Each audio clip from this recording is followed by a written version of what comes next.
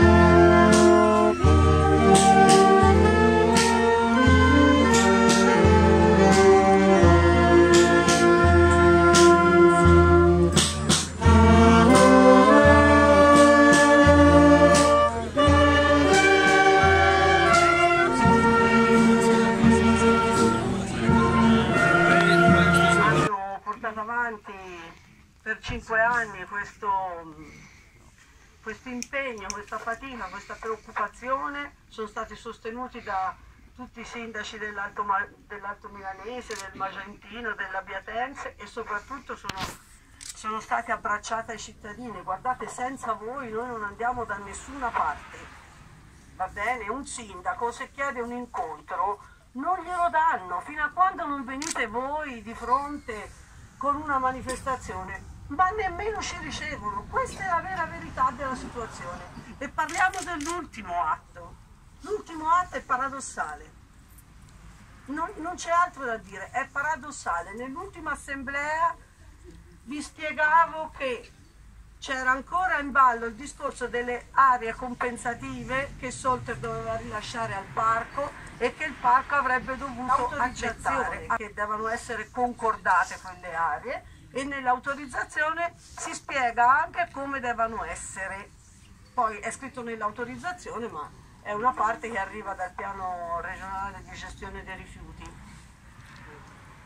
Eh, quando uscita l'autorizzazione, subito dopo sono Solte rappresentato le fideiussioni e Città Metropolitana gli ha scritto, gli ha scritto spiegandogli che quelle fideiussioni non potevano essere accettate addirittura fino a quando le aree non sarebbero state cedute, nemmeno c'era l'accordo. Città Metropolitana si esprimeva così, dovevano essere cedute.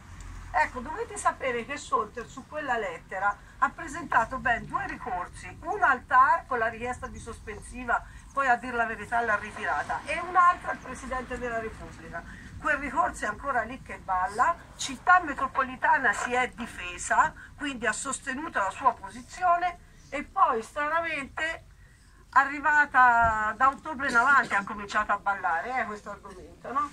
Hanno cominciato a dire che forse le aree a noi ci andavano abbastanza bene. No, non ci andavano bene. E se la prima lettera poteva essere non chiarissima, gliene abbiamo riscritte due chiare che veramente non benissimo prima loro. Quello che è certo è che abbiamo la necessità, la forte necessità che tutti siano partecipi, soprattutto perché la massa, la grande massa di persone fa tanto. È vero che da soli siamo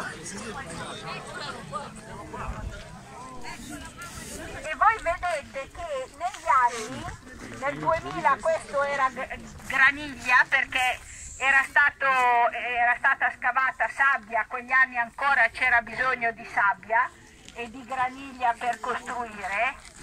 Poi eh, hanno imparato a, ehm, taglia- a mm, sgretolare ciò che eh, raccoglievano per le strade, eccetera, per cui non hanno più bisogno. Dal 2002 non cavano più in questa zona. Perciò questo dovrebbe essere tutto sradicato e va bene come primo passo. E non dimenticatevi, perché non ve l'ho detto prima, che contestualmente all'autorizzazione a chiudere questo buco e a farci sopra la collinetta, eh, Città Metropolitana ha dato l'autorizzazione a cavare 1.820.000 altri metri cubi in eh, praticamente tutta l'area recintata che da qui arriva verso la strada di Furato. Sono tutti campi vergini, perché in questa zona tutti i campi sono vergini, perciò è proprio